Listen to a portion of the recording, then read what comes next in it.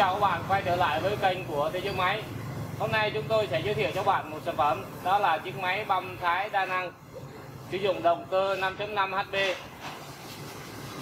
Bây giờ chúng tôi sẽ test chiếc máy này cho các bạn xem. Đầu tiên thì ta sẽ mở công tắc, Đóng e gió và giật nổ. Sau đó ta sẽ mở e gió lên. Ta điều khiển cần ga sao cho máy hoạt động thêm.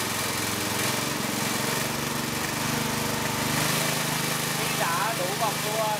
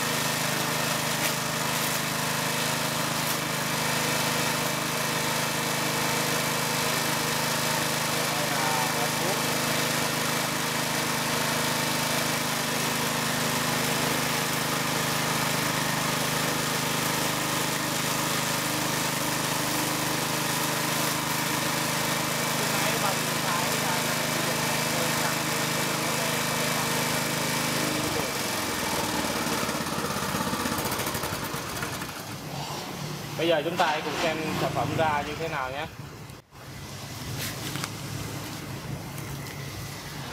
Sản phẩm được băm rất là nhuyễn và nhỏ, có thể dùng cho heo, gà, bò, trâu.